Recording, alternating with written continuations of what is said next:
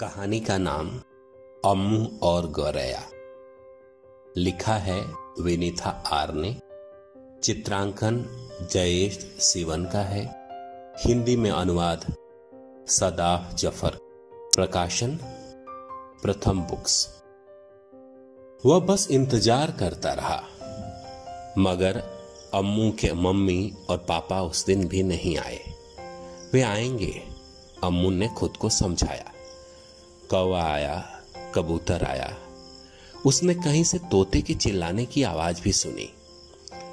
वे अगले दिन भी नहीं आए और उसके अगले दिन भी नहीं। दादी माँ ने मुट्ठी भर रात का बचा हुआ चावल तोते के आगे फेंक दिया। उसे खाने कबूतर का झुंड भी वहाँ आ बैठा। अम्मू ने उनकी आँखों में देखा। वह भी उसे घूरने लगे, बिना पलक झपकाए फिर आए कौवे वो तो बहुत ही ढीठ थे। उन्होंने बड़े बड़े चावल के निवाले चुगने शुरू कर दिए। साथ ही फुदक कर और पास आ गए। अम्मू ने उनकी आँखों में देखा और उन्होंने वापस उसे घूरा। वो भी बिना पलक छपकाए। उसे मम्मी और पापा के साथ बिताए वो सारे मज़ेदार पल याद आने लगे, जब वे सब साथ मिलकर खेलते थे। और फिर अचानक वो तीनों एक परिवार का हिस्सा नहीं रह गए। वे नन्ही चिड़िया कहाँ गईं? शायद उन्हें चावल पसंद नहीं, अम्मू ने सोचा। उसने मुंडेर पर एक चम्मच भरकर दलिया रख दिया। उसने कुछ रोटी का चूरा भी वहाँ छोड़ दिया। चार दिन बीत चुके थे, फिर भी वे नहीं आए। अगली सुबह दादी थोड़े से डोसे के साथ तैयार थी। आओ उन्होंने उसे आवाज़ दी। अम्मू ने ठंडी सांस ली। मम्मी ने अभी भी फ़ोन नहीं किया था और वो नन्ही चिड़िया भी नहीं आई थी। दादी उदास नज़र आ रही थी। उन्हें क्या कहते हैं?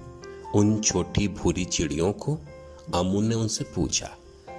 गौरया, दादी ने जवाब दिया, मेरे नन्हे चिड़े, क्या तुम्हें उनकी याद आती है?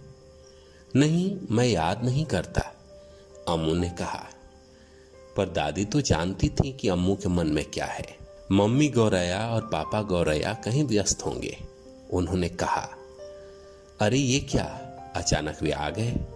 वो नन्ही भूरी चिड़िया। कौन सी मम्मी गौरया है और कौन पापा गौरया? अम्मू ने पूछा।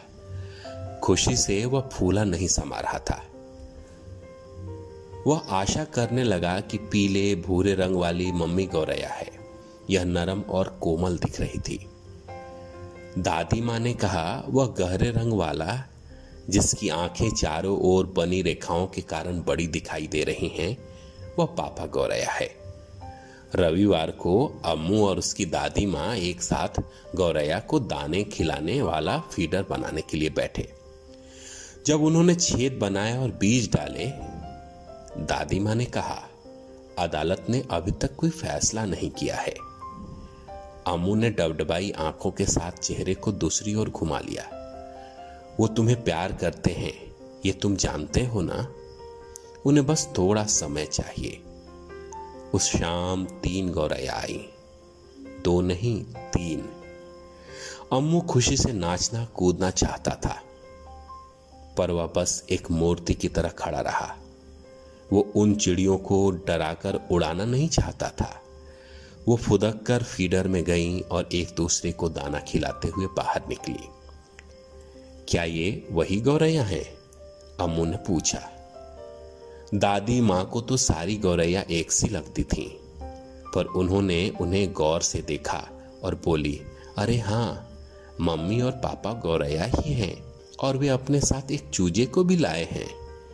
अमू खुशी से मुस्कुरा दिया।